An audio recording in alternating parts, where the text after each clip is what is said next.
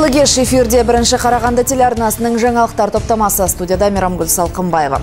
Күннің басты жаңалықтармен таныс болыңыздар.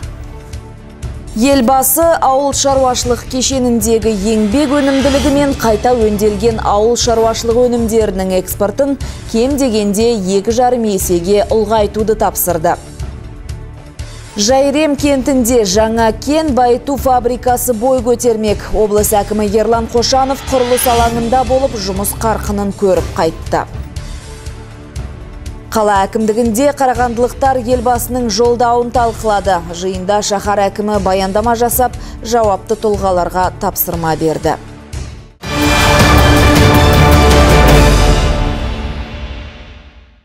Қазақстан Республикасы премьер-министрінің орынбасары ауыл шаруашылық министрі Өмірзақ Шөкеев Қарағанды кәсіпкерлерін мал шаруашылығымен айналысуға шақырды. Облыстық әкімдікте ауыл шаруашылық тауарларын өндірушілермен етті мал шаруашылығын дамыту бағдарламасын жүзеге асыру бойынша кездесу өтті. Елбасының тапсырмасын орындау аясында етті мал шаруашылығын дамыту басым бағыттардың бірі болып табылады. Атап айтқанда агроөнеркәсіптік кешендегі еңбек өнімділігін және қайта өнделген ауыл шаруашылық өнімдерін кем дегенде екі жарым есе арттыру қажет. Бұл туралы облыстың ауыл шаруашылық тауарларын өндірушілермен кездескен ауыл шаруашылығы министрі Өмірзақ Шөкеев те мәлімдеді. Біздің елімізде 180 миллион гектар жайылым бар. Жұмыс істегісі келетіндер және оны қалай жасау керектігін білетін адамдар да бар. Біз асыл тұқымды мал туралы айтып отырғанымыз жоқ. Бізге сатылымға шығатын мал қажет. Қарағанды облысында бордақылау алаңы бар. Мысалы жаки шаруа қожалығы қазіргі заманғы бордақылау алаңынан өзбекстанға мыңнан астам бұқа жіберді. Онда бір мезгілде үш мыңнан астам бас бордақыланады. Мұның бәрі әрине жақсы. Қазіргі шағын фермалардың санын көбейтуіміз керек. Кездесу барысында Өмірзақ Шүкеев бұл саладағы жаңашылдықтарды айтып, қатысушылардың сұрақтарына жауап берді. Кәсіпкерлер субсидиялау, тұқым өндірісін қолдау, астықты сұрыптау, арзан дизель отынын бөлу әртүрлі сұрақтар қойды. Фермерлер үшін минералды тыңайтқыштарды алу басты мәселе болып табылады. Жиынға қатысушылар әсіресе елде топыраққа зерттеу жұмыстарын жүргізе алатын зертхананың болмауына назар аударды. Сіздер білесіздер біздің жүйе автоматтандырылған тыңайтқыш алу үшін міндетті түрде карта болу керек ал зертханаларға келетін болсақ ол үшін ақша бөлінеді және көлемін арттыруға тырысамыз Республикалық селектор жиналысының қорытындысы бойынша облыс әкімдерінің орынбасарларына бағдарламаға фермерлерді тартуға бағытталған шараларды күшейтуге нақты тапсырмалар берілді. Айжырқын Сейсен, Сергей Высокосов, Дастан Шанин, бірінші Қарағанды телеарнасы. Ауыл шаруашылық министрі Өмірзақ Шөкеев Қарағандыға келіп, өңірдегі азық түлік өндіруші шаруа қожалықтарын аралады. Министрдің сапары барысында жергілікті фермерлер өздерінің қандай жұмыстардың атқарылып жатқанын қонақтарға таныстырды. Ауыл шаруашылық министрі Қарағандыға сапары барысында азық түлік өнімдерін өңдейтін кәсіпорындарға барды. Соның бірі Еуразиан Фудс компаниясы маргарин өнімдерін экспортқа шығаруда агрофирма құрма құс фабрикасында өмірзақ шөкеевке құстардың саңғырығынан жылу және электр энергиясын өндіретін биогаз өнімі құрылғысы көрсетілді сонымен қатар министр жеке шаруа қожалығындағы бордақылау алаңында көріп қайтты на сегодняшний день законтрактовано с узбекской стороной две, две компании Насил Хазмет и Ордастар. Экспорт. Экспорт. экспорт Сколько? Насил Хазмет контракт имеется на 4000 голов.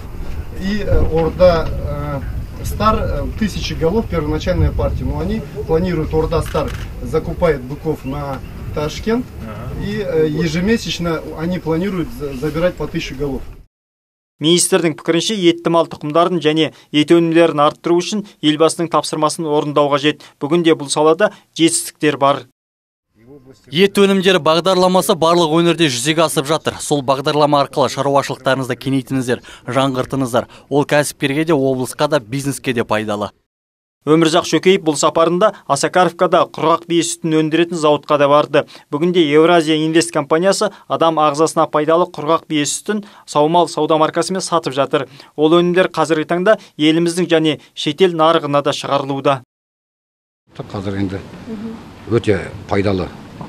Назарбаев университеті бәрі жұмыс жасап жатырмыз олармен. Ол кісілер тексеріс жүргізіп жатыр. Ұнтақ жаңғыз ұнтақ емес виде таблетка сияқты капсула сияқты шығаратын әлі.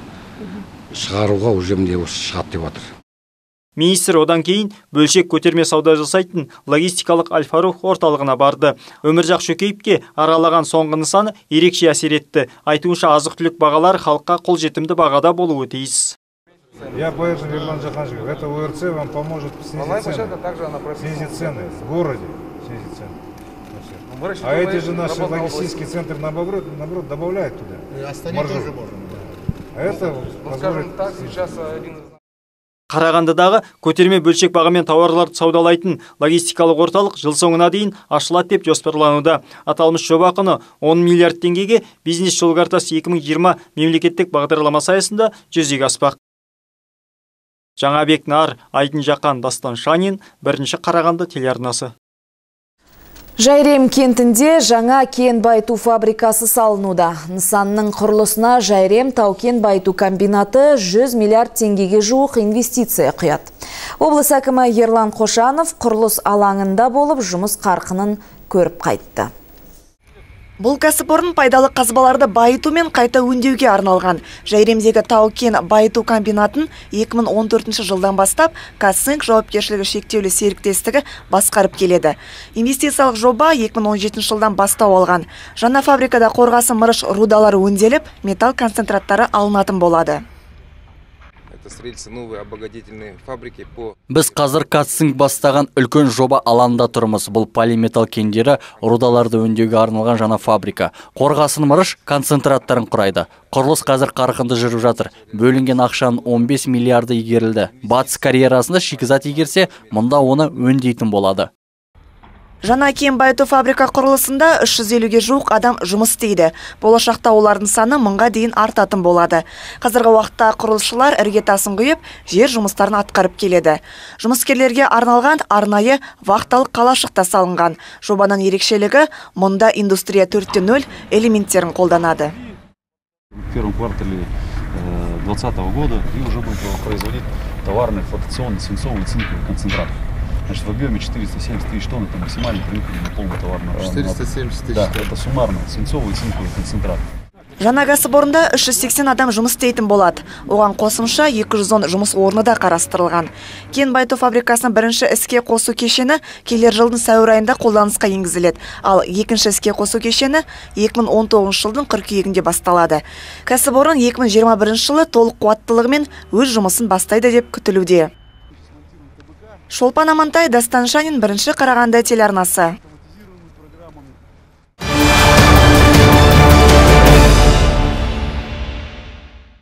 Қала әкімдігінде қарағандылықтар елбасының жолдауын талқылады. Шараға шаһарымыздағы мекеме және сала басшылары мен жастар өкілдері қатысты.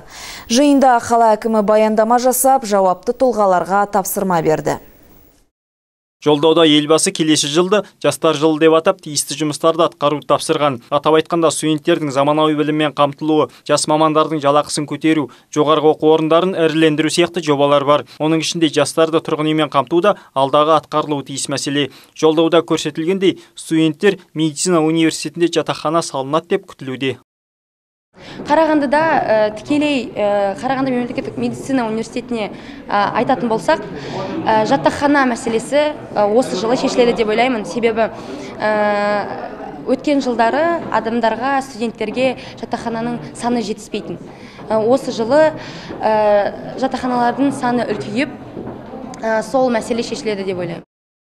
Елбасы жолдауында әлеуметтік саланы өндірісті ауыл шаруашылықты дамытуды атап өткен. Шара аясында қала әкімі Нұрлан Әубәкіров айтқандай Қарағанды қаласының бюджеті 8 миллиардтан астам, яғни бюджеттің 23 пайызы ауыл шаруашылық өнімдерінен тұрады. Азық түлік және өндірістік өнімдерді көбейту, экспорттау мақсатында шаһар басшысы орынбасары мен жауапты тұлғаларға аталмыш саланы модернизациялауды тапсырды. Осы бағытта Қарағанды қаласы әкімінің орынбасары Мүкеева, кәсіпкерлік және ауыл шаруашылық бөлімі, кәсіпкерлер палатасы, даму қорымен бірлесе ауыл шаруашылық өнімін өндірушілерге жаңа жобаларды мемлекеттік бағдарлама аясында модернизациялау үшін түсіндіру жұмыстарын жүргізіңіздер. Қала әкімі нұрлан әубәкіров өзінің орынбасарлары мен сала басшыларына жолдауда көрсетілген шараларды халыққа түсіндіру қажеттігін атап өтті. Сонымен қатар барлық тапсырмалардың орындалуын қадағалауды ескертті. Жиында сала мамандары да жаңа реформаның жүргізілуін қолдады. Жаңабек нар жасұлан мақұлбеков дастан шанин бірінші қарағанды телеарнасы. Қазақстандықтардың табысы мен тұрмыс сапасын арттыруға арналған елбасы жолдауын жүзеге асыруға қоғамдық ұйымдар да атсалысатын болады. Осыған орай достық үйінде кеңейтілген отырыс өтті. Жиында жолдаудың басым бағыттары талқыланды. Қазақстан Халық Ассамблеясының кеңейтілген отырысында жолдаудың негізгі бағыттары айтылып, ассамблеяның рөлі талқыланды. Бас қосуға этномәдени бірлестіктердің өкілі мен жоғары оқу орындарының студенттері қатысты. Шараның басты мақсаты еліміздің әлеуметтік экономикалық, саяси және рухани өзгеруіндегі елбасының мемлекеттік саясатына және бастамаларына қолдау көрсету бұл жолдау қазақстандықтардың өмір сүру деңгейін және сапасын арттыруға нақты бағытталған. Біз бүгін ассамблеяның барлық құрылымдық бөлімшелерінің жолдауды насихаттауға қосатын үлесін талқылаймыз. Сондай елбасы жоғары оқу орындарын ірілендіру саясатын жүргізу керектігін ерекше атап өткен болатын. Білім нарығында тек жоғары сапалы білім бере алатын оқу орындары қалу қажеттігін тілге тиек етті. Жаңа жолдау жоғары оқу орындарының ұстаздарына жаңа міндет жаңа талаптар қояды.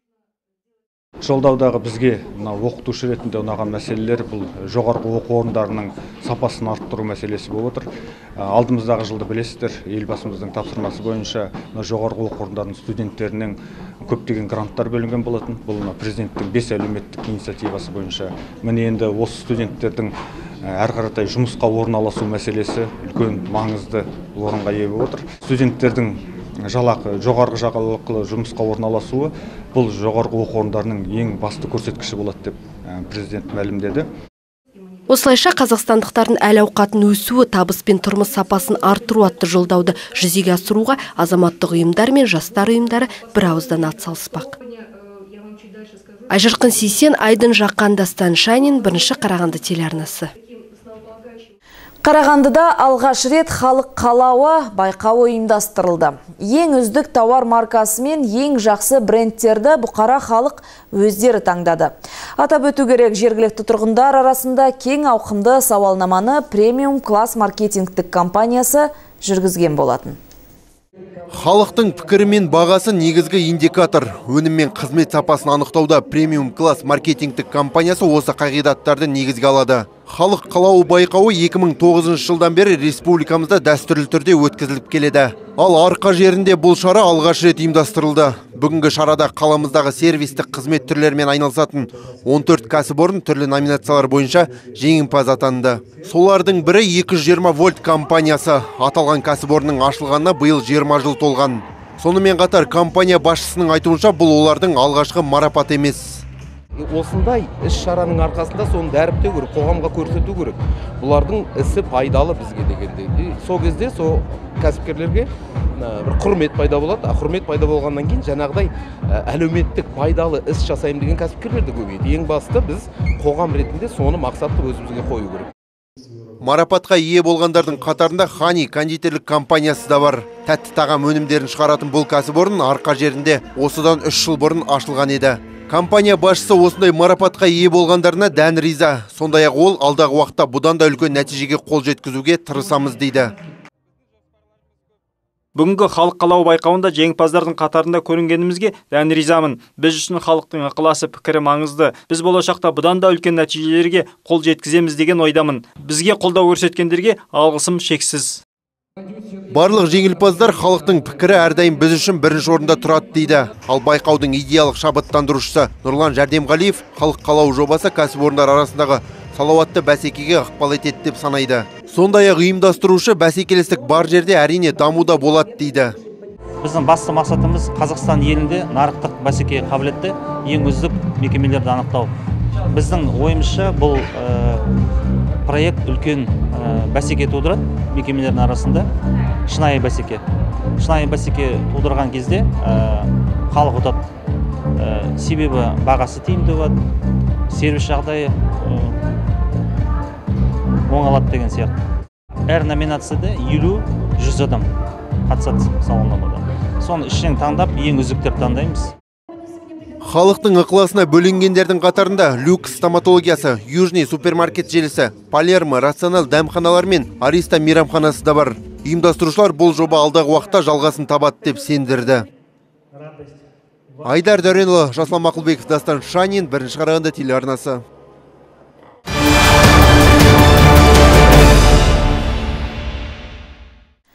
Тері ауруларына таптырмас экологиялық өнім. Елімізде құрамы пайдалы минералдан тұратын табиғи косметикаларды шығару жолға қойылған.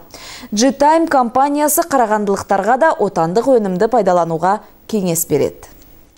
G-Time компаниясының өнімдері Қазақстанда ғана емес шетелде де үлкен сұранысқа ие. 82 елде 500 мыңнан астам серіктестері бар. Шұғыла шунгит зауыты Алматы облысында орналасқан. Олар минералды шунгит негізінде экологиялық таза косметика өндіреді. Отандық өнімнің сапасы жоғары, ал бағасы қолжетімді.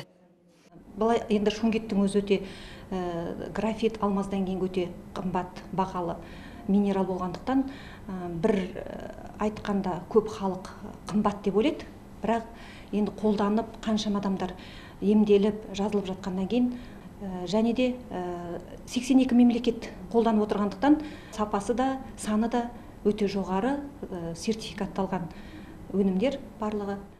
Барлық әйел заты терісі нәзік әрі жұмсақ болуды армандайды қала тұрғыны Айман Кәріп те солардың бірі болған. Ол 28 жыл бойы тері ауруымен қиналып келген. Алайда G-Time компаниясының өнімдері арқасында бұл мәселені мәңгілік ұмытқанын айтады. Айман соңғы екі жарым жылда тек шунгит негізіндегі косметиканы қолданып жүрген көрінеді. Өзі ғана емес, барлық отбасы мүшелері де осы өнімді пайдаланады. Мой внук вылечился от сезонной аллергии. Менің немерем маусымдық аллергиядан емделіп шықты. Жалпы отбасым бұл өнімдерді пайдаланғаннан кейін нәтижесі өте жақсы. Ал менің қолымда созылмалы дерматит болды. Мен халық емін де қытай емін де пайдаланып көрдім. Алайда еш нәтиже болмады. Тек осы өнімдерді қолданғаннан кейін қолым жазылды. Барлығына кеңес беремін. Экологиялық таза әрі қауіпсіз косметика өнімдерін Гогля 34 бірінші қабатта орналасқан 16-шы кеңседе танысып сатып алуларыңызға болады. Қосымша ақпарат алам десеңіз, экранда көрсетілген нөмірлерге хабарласыңыздар. Айжырқын Сесен, Жасұлан Мақұлбеков, Дастан Шанин, бірінші Қарағанды телеарнасы. Бүгінге айтарым осы келесі эфирде жүздескенше аман сау болыңыздар.